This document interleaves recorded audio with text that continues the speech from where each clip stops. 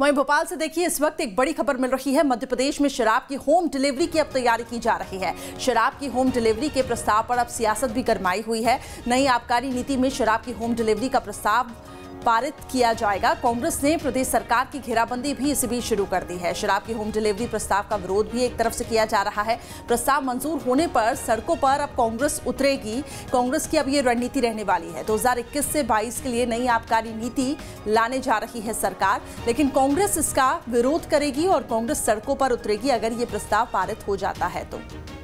जितेंद्र मेरे सहयोगी अधिक अपडेट्स के लिए लगातार जुड़े हुए हैं। जितेंद्र शराब की होम डिलीवरी होगी इस पर विचार किया जा रहा है और प्रस्ताव में और क्या कुछ अहम बिंदु रखे गए हैं?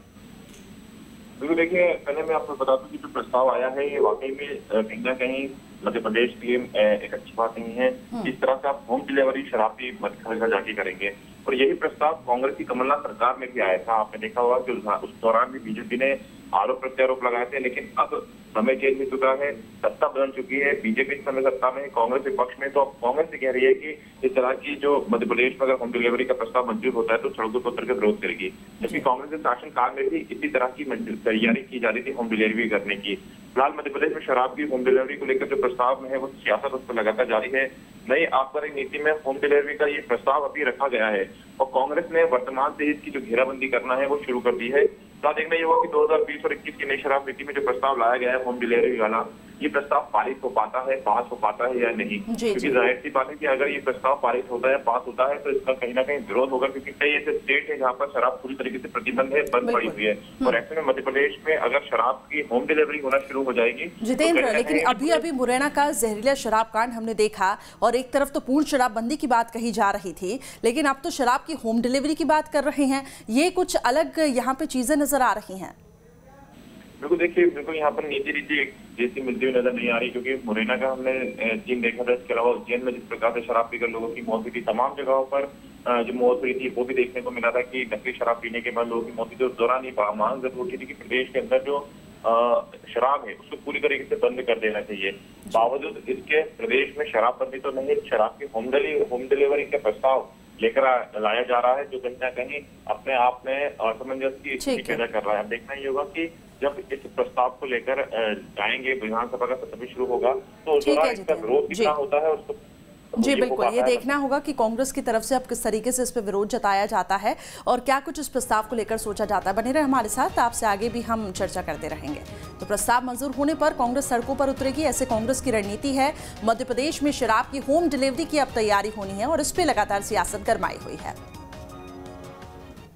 शनिवार 30 जनवरी को जब पूरा देश आजीवन शराब बंदी के हिमायती रहे बापू की पुण्यतिथि मना रहा था, तब मध्य प्रदेश में शराब को लेकर सियासी बहस छिड़ी हुई थी। दरअसल पूरा बवाल संभावित आबकारी नीति को लेकर है, जिसमें ऑनलाइन बिक्री के ज़रिए शराब को घर घर पहुँचाने की खबर है। हालाँकि आधिकारिक तौर पर इस पर मुहर नहीं लगी है। खुद आबकारी मंत्री जगदीश देवड़ा भी कह रहे हैं कि अभी सिर्फ़ विचार चल रहा है।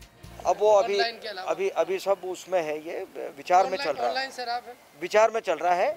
सभी सभी तरह के विचार रहते हैं और मुझे लगता है कि जो बेहतर हो सकता है वो किया जाएगा। अब अभी अंतिम फैसला नहीं है मैं इसलिए कह रहा हूँ कि नई आबकारी नीति में पूरी तरह से मंथन चल रहा है विचार चल रहा है। अभी नई आबकारी नीति पर बेशक अंतिम मुहर ना लगी हो लेकिन कांग्रेस ने इसका विरोध शुरू कर दिया है। निश्चित तौर पर ये नीति किस उद्देश्य को लेकर बनाई है मैं ऐसा मान के चलता हूँ कि सिर्फ़ सिर्फ़ अभी बीजेपी का एक ही फंडा है फंड जनरेट करना।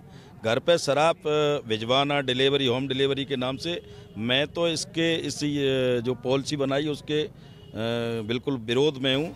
उधर शराब की ऑनलाइन बिक्री की योजना को बीजेपी तत्कालीन कमलनाथ सरकार की योजना ही बता रही देखिए कमलनाथ जी को ट्वीट करने से पहले कमलनाथ जी मुख्यमंत्री रहे मध्य मध्य प्रदेश के, उनको मालूम है कि कांग्रेस के समय में क्या योजना आई थी।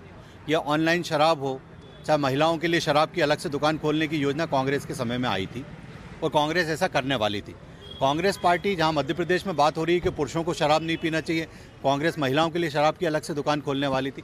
प्रस्ताव कई तरह के सरकार के पास आते हैं, पर मानना ना मानना सरकार का पक्ष रहता है।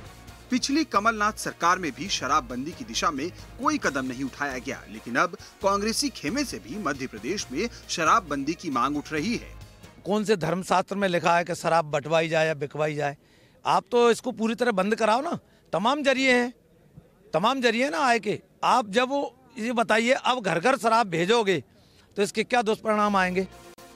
बहरहाल बात करें एमपी में नई शराब नीति के संभावित ड्राफ्ट की तो इसमें सजा बढ़ाने जैसे कठोर कदम की बात तो हो ही रही है। वहीं शराब की ऑनलाइन बिक्री की चर्चा विवादों को हवा दे रही है। हालाँकि अभी इस पर अंतिम मुहर सीएम शिवराज ही लगाएँगे। ऐसे में अब नजरे सीएम के अगले फैसले पर रहेगी। Team news state.